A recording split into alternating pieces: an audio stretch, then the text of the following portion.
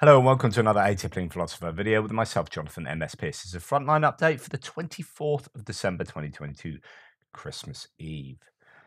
Uh, Merry Christmas to you all, and I hope things are comfortable for a couple of days for the troops fighting on the front line. Let's have a look at what has happened overnight. This is our map that, well, War Map has done a map uh, I guess because it's coming towards the end of the year, to show how much territory the Russians have lost to liberation uh, from their sort of peak control. It's it was interesting at the time to talk about their control sort of north of Kiev, uh, across the Sumy, and some maps had this as complete Russian control. But of course, what they did was really control the roads, and huge amounts of land in between those roads were not really controlled. There was no kind of Russian troop presence. They were just um, sitting along the major routes in the area. Uh, and that led some maps to be, you know, completely covering these kind of areas in color. Um, but of course, yeah, th- that was not to be. But anyway, that that's that's the map, and things are looking different now. Um, uh, we wonder how it's going to continue uh, going on into the new year. Let's have a look at the troop, um, the official troop, and other loss figures from the Ukrainians. Uh, they say that 480 troops, a slight downtick in troop losses for the Russians. That one tank, eight APCs, four artillery systems, and four MLRS. Four MLRS is uh, quite significant. Eight drones and five vehicles or fuel tanks. So not uh, as I say said yesterday in discussing the accuracy of these figures. I use these as indicative of as to whether it was a good or bad day for the Russians, uh, and I'd say that was pretty mediocre, really, uh, on the light side for for losses.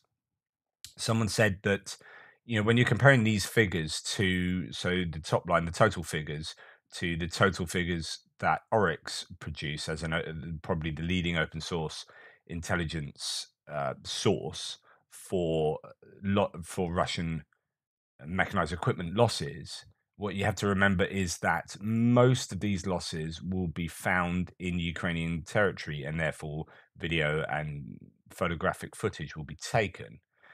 Um, but any losses that still remain within Russian territory are unlikely to be photographed by the Russians and put on social media. And therefore, there could well be a massive amount of this is someone justifying that these figures are that much higher than Oryx, and it is a good point. Is that if you're discounting most of the loss, okay, you do get some drone footage and this and that, but m- many of the losses behind Russian lines will not be included in these figures, arguably. Anyway, just sort of throw that point in. Uh, what's happened overnight? Well, another massive fire, this time in the Moscow area. All Russian Institute of Light Alloys. A big warehouse caught fire. Propane and acetyl gas cylinders ensured. This is quite a spectacle for the locals. So, another huge fire. There were other fires as well, but I don't think they were connected. One was a nursing home fire, which many people sadly died, but I don't think that's connected to the war at all. Um, this is alleged footage of Niz Negorsky on occupied Crimea, where a drone looks to have hit something. Uh, locals talk about an area of an oil depot. So, and there's other footage of the CCTV. That's kind of the worst footage I've seen actually. Uh, so it looks like Crimea, uh, an old oil depot on Crimea, has been hit by drones. Um, this has come from the Ukraine's general staff. They confirmed two more big hits in Zaporizhia region on Wednesday, destroying two artillery systems with ammunition. More than 70 troops were wounded. Number of dead yet not yet known. So some again, this is what we hear all the time down in this sort of area behind the lines and in the Kherson Oblast as well. And Zaporizhia Oblast is here. Uh, Kherson is here. We hear of um, you know troop accumulations and strategic targets getting hit every single night. Um, so that's that one.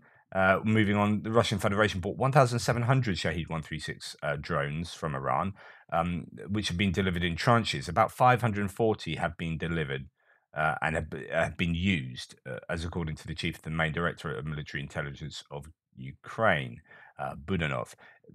However, that leaves a good 1,200 yet to have been used the implication is here is watch out there will be many many many more drone attacks using these shahed 136s what i have noticed is that recently these drones have been shot out the sky with almost 100% accuracy you know so cruise missiles that are getting through uh, but it seems like the Ukrainians have had much greater success in shooting down these Shahed drones.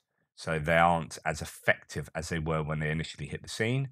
Uh, and lastly, before we get to the front line, uh, reports that at least 492 draftees have died at training centers in Russia um, before getting anywhere near the front. In the video below, it's a disastrous assault by Russian Marines in uh, East uh, Ukraine. So, but I won't, I won't, show you that. But that the 492 is interesting. We have had, heard various reports on, you know, people dying at training, mobilized training centers.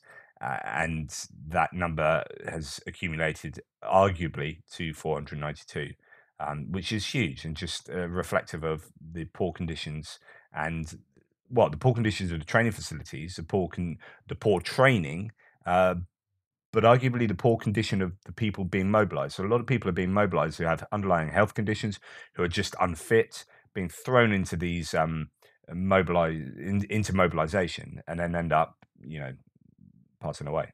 So there you go. Anyway, let's get on to the front line. As we go to the front lines, it's worth uh, mentioning that there has been some shelling uh, along the borders. In fact, some incursions that uh, could indicate, I don't know, reconnaissance uh, uh, around these sort of areas. Now, the Institute for the Study of War again has talked about uh, this idea of MDCOA. So that's the most dangerous course of action talking about how Russia are continuing uh, with Belarus, actually, to, continuing to put things in place to indicate that they are interested in this NCDO, uh, NDCOA, uh, which is a, an incursion from the north somewhere. Whether this will be from Belarus down into this region of Ukraine, highly unlikely. It's very marshy around there. They'll need uh, there are rivers. They'll need bridge building equipment, all sorts, and it's heavily mined. It's more likely to be an incursion, possibly down uh, through Sumy, maybe Chernihiv again, or or even more likely around Kharkiv, maybe an offensive in the northwest of of Ukraine. Now, uh, there's quite a lot of analysis on this in the ISW worth taking a look at. Um, it, it, as it says here, it could be that they are setting up an information space. It could be deception. Uh, so they strike somewhere else. Uh, there's all sorts of options here, but they they are continuing to do things that would indicate um, that it's a possibility up there. Uh, and that, of course, just that, that just that being a possibility then leads the Ukrainians thinking, well, how do we manage that? And I, I, guess the idea would be that they are keeping, you know, troops and resources fixed into these positions all along here, uh, and that might allow Russia to then strike somewhere else, or they genuinely are going to come down and attack from the north.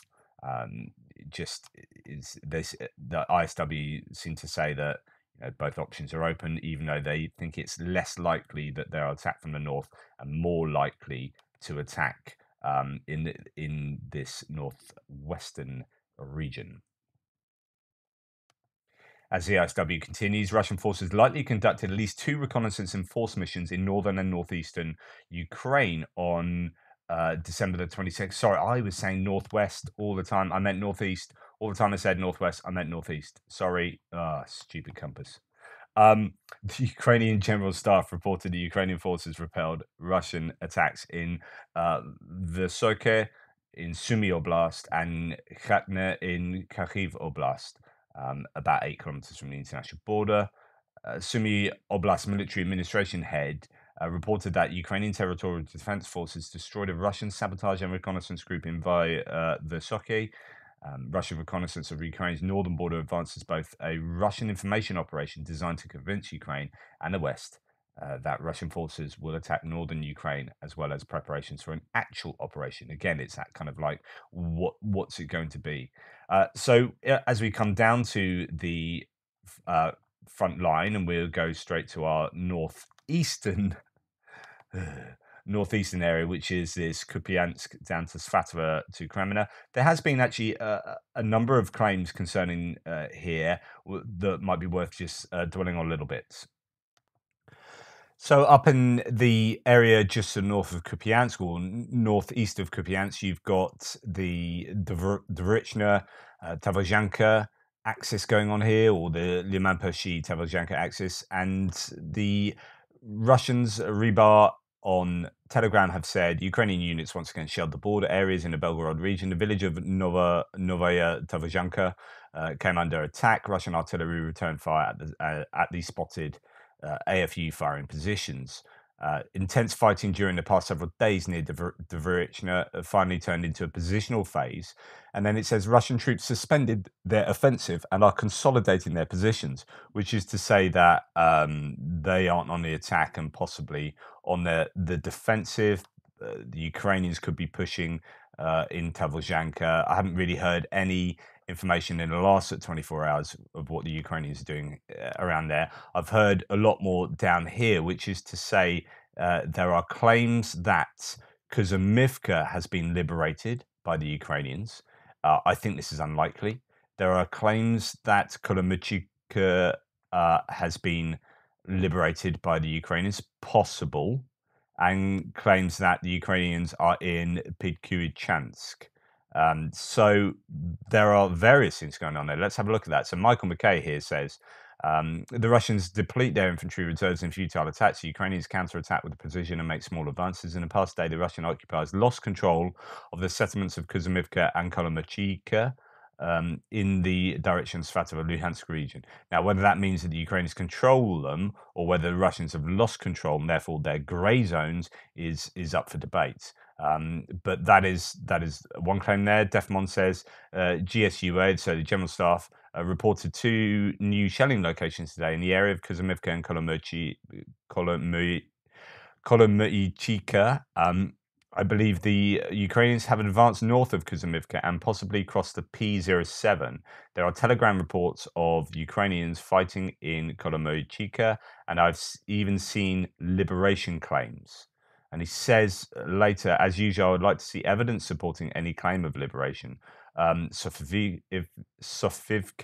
and Kolomychika. So we go back to the map that that it, so he's saying there are claims about uh, Kolomychika, and also if we go up north to so- Sofivka here, I'm not changing my map but I am saying that you know watch out for all around here because it looks like the Ukrainians are actually making some advances uh, around here. That if these aren't um, under the control of the Ukrainians, then there's every chance that the Russian lines could now look something like this. Um, and they are now sort of behind this line of settlements uh, and if that's the case, that is that is really good news for Ukrainians. And this highway here, they are, have they have good purchase along this highway. Um, I, am I'm, I'm going to keep keep an eye on this kind of area.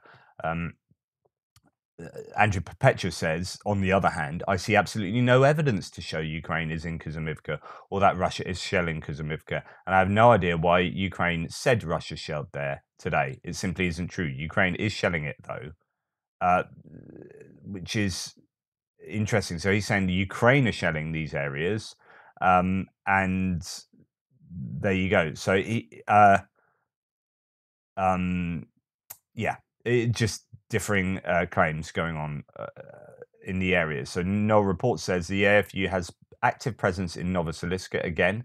Russia shelled it heavily. There are rumors that the Ukrainians entered Pidkuichansk uh, this was reported some days ago, needs confirmation, and fighting inside Kolomychika confirmed. Russia shelled it today.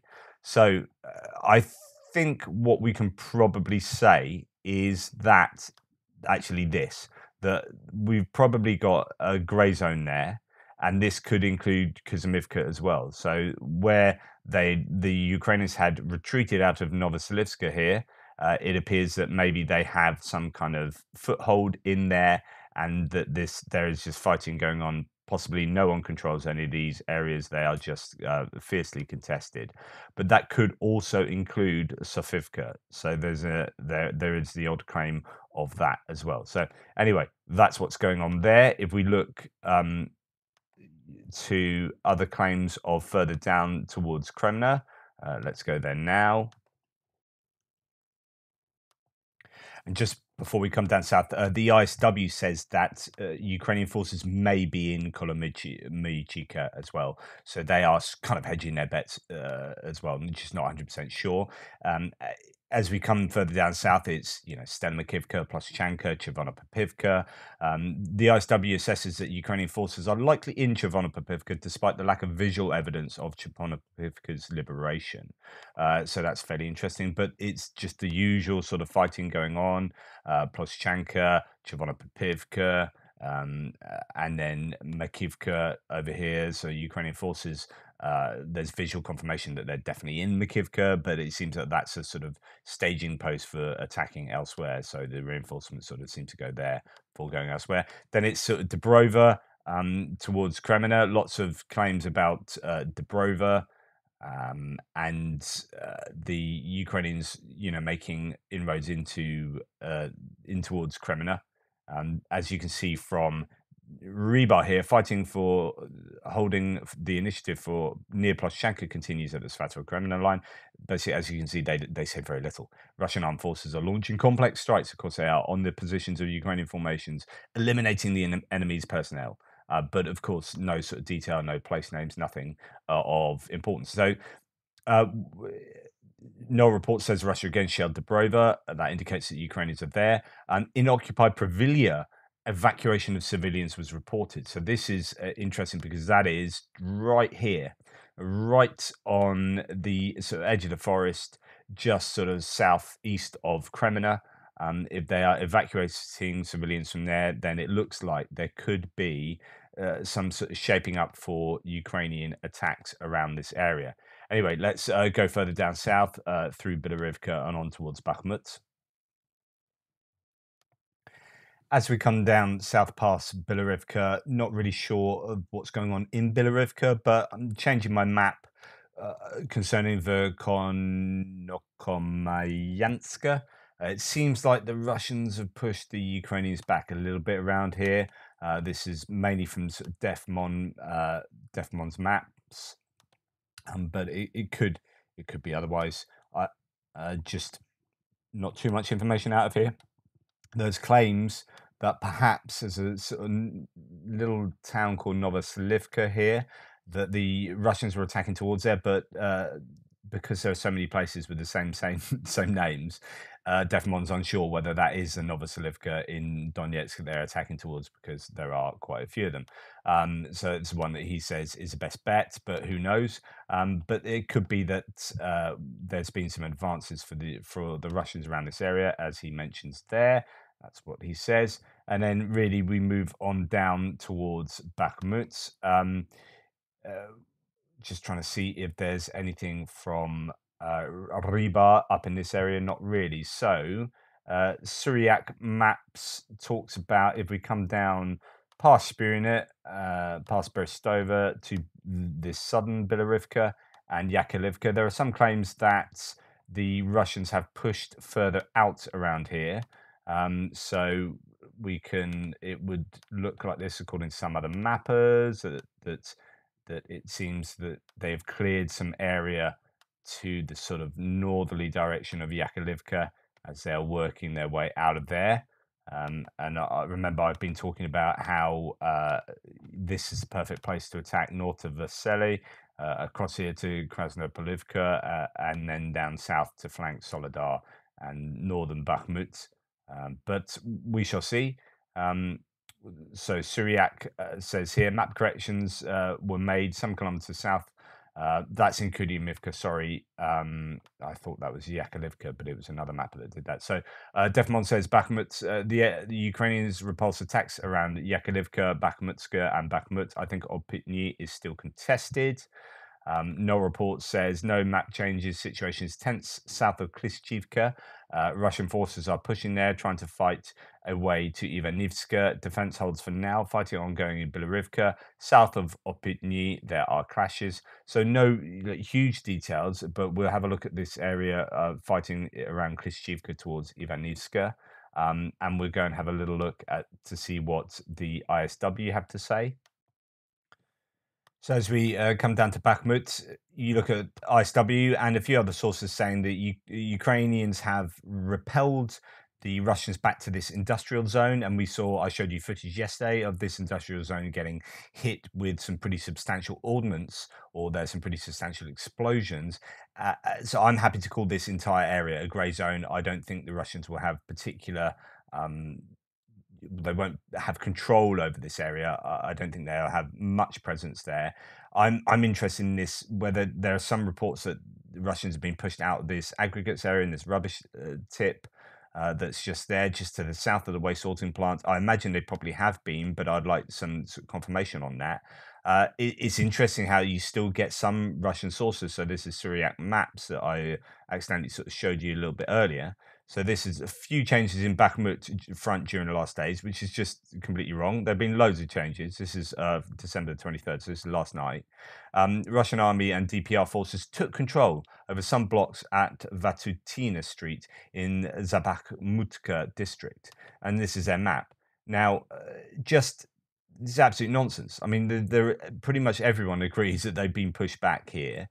Um, but this is a pro pro Russian source, so you know what do you expect? Uh, but even um, ISW, so even Igor Girkin has stated uh, on December the 22nd, so it's two days ago, that Ukrainian forces drove Wagner Group forces in Bakhmut out of positions they occupied several days ago and back to the eastern industrial zone. So just, uh, yeah, it's complete nonsense there. Um, anyway, just thought I'd show you the other side of the story. Um, uh, if we if we look at what Rybar says, so Rybar says uh, Ukrainian command managed to slightly slow down the pace of the advance of Russian forces in and near Bakhmut. So this is, you know, kicking them out of this entire area is just slowing down their um, their their advances. Uh, nevertheless, heavy street fighting continues in the town and also in Opitny Pidorodna and Klishchivka. Um, again, you know, take that with a pinch of salt. Um, now, this is what Suriyak also says. Map corrections uh, were made some kilometers south where Russian army and DPR forces advanced from Kurdyivka around Water Channel uh, during the last days. Uh, and I'll show you this in a second. So they think they've uh, uh, advanced from Kurdyivka there. Um, right, let's let's have a look at all of this. So as we come down south, uh, again, Opitny fighting, grey zone to the south of that. Now, Klishchivka, there are some claims from Russians that they have entered the east of Klishchivka, because that either could be this entire sort of eastern front, or it could be this kind of northeast here, in an attempt to move towards Ivanivska. So, what the Ukrainian, the Russians would, would love to do, obviously, is um, you know advance up to Ivanivska to get some kind of close encirclement of Bakhmut. Klishchivka is so important for holding back the Russians all along here. In fact, you know, it's not just there, it's Opitny. Opitny and Klishchivka uh, act as some kind of, um, oh, goodness me. Uh, do you know what? There's so much I would change about how Google Maps operates. Uh, that is definitely one of them. Oh, gee whiz. Right. Uh, so, uh, what I was merely trying to say is this is pointless now. You probably got my idea. Um, the idea is that Opitny and Klishchivka together uh, create this kind of barrier for the Russians to push through. Uh, so they have to then go round, and then of course that leaves uh, you know Kurdyivka and defenses behind Kurdyivka to try and stop the Russians from coming around there. Now, what Suriyak maps uh, mapping was saying is that the um, the Russians have control over this kind of area here, and they have this kind of triangle which I was talking about yesterday, which I think you know people like Defmon have said they've lost and they've been pushed back to the canal here. Um, so if we go back to that Suriyak map, you can see that, that he he thinks they've got some territory to the west of the canal and going further north. It's just a matter of meters. I'm not changing my map. Um, just on the basis of that. But there is heavy fighting, I think, around here and around Klishchivka. So I think Klishchivka is one to watch over the next few days uh, to see whether the, the Russians can find a weakness there, considering they've seemed to have been beaten back from the eastern outskirts um, and obviously Pidorodna as well. So that that's what's going on around there. The ISW reports again, just a couple of days behind about the loss of this trench network, and uh, as I said, I've seen uh, Ukraine is clearing that out, right, and and just turning over dead bodies and stuff, pretty horrible. Um, but this is definitely uh, you could indeed actually move the Ukrainian uh, control lines forward because you know they are there they have presence there for sure. Um but uh you know for what it's worth. Um okay let's move on south uh past Mayorsk and onto Avdiivka once I can get my map sorted out apologies. Now, what is evident is that there's just very little news coming out of anywhere around here. You know, you you get talk about positional attacks, New York, and so on and so forth. Avdiivka in the ISW used to get a couple of paragraphs. This is the entirety of Avdiivka and uh, and further. So the Ukrainian General Staff reported that Ukrainian forces repelled Russian attacks on Vodyane, Krasnohorivka, and Mariinka. That's it. Like none of this is to do with that uh, below there. That is literally what the ISW, which normally has several paragraphs on each of these, says about this entire area of Divka, Krasnohorivka, and Mariinka. So I, I'm wondering whether things are actually genuinely slowing down for Christmas, whether there is just a, this unwritten rule that hey we're not going to attack each other because christmas is coming let's kind of like take a break. You know look at Rybar says uh, nothing. So this this is the end of the bakhmut stuff and you move on and actually it's going on to other places talking about um, gmlrs attacks uh, crimea odessa zaporizhia uh, uh, you know uh, talking about terrorist attacks and from the from the uh, ukrainian missiles and whatnot, but no talks about positional fighting or anything. Um, and you've got no reports saying if you got ambushed near Pavlivka and lost some equipment and personnel. Uh, so that's interesting. Uh, Mariinka is mostly artillery right now. Fighting is ongoing, but less intense than last week's. And in Pervomaisky and Avdiivka, positional battles on the outskirts. And that's that. That, that and that that's pretty much that for the rest of the front line, really. Uh, you know, if we go to, I mean, there's some interesting stuff here that ISW talk about. So Russian naval infantry elements continue to operate in western Donetsk Oblast. Uh, geolocated combat footage posted on December 22nd shows Ukrainian forces repelling Russian naval infantry elements west of Neskuchna. Um, uh, footage from mid to late December documents elements of the Pacific Fleet's 40th Naval Infantry Brigade operating in the Vuhledar area. So it's just talking about how you know these half decent sort of troops are operating and they were pushed uh, out of Neskuchna which is here. Um, so that that hasn't been mentioned for a week or so, but there was uh, intense fighting there, sort of week week and a half ago, I think it was. Um, but other than that, that's pretty much that. We've got uh, shelling and stuff sort of going on. I, I know that uh, Ochakiv keep, keeps getting hit. Um, this is uh, a sort of naval base uh, where the training goes on, but also it's it's the springboard across to the Kinburn Peninsula. So the Russians are often hitting that with artillery and whatnot. Um, unsure exactly what's going on on the peninsula. Um, and let's have a, a, quick little look, to see if there's anything in uh, Zaporizhia and Kherson worth uh, mentioning. So the usual shelling uh, around the Kherson area. Tokmak, I talked talked to you about this yesterday uh, in my extra video. Tokmak, which is a very important logistical hub for the Russians, a railway goes through there and lots of roads. It's northeast of Melitopol. Uh, there is reports that the Russians have built trenches around the entire perimeter of the city or the town. So they are obviously expecting that to be attacked at some point to the to the point that they have built extensive trench networks right around the perimeter. Um, uh, not a lot else really to to report other than uh, the um, you know usual kind of hits from from the odd uh, base here on the odd base here and there that the uh, Ukraine, uh, Russians are building up their defensive operations in, in and around Kherson and then down into Crimea but yeah, it just seems to be rather quiet compared to what it was even just a couple of days ago.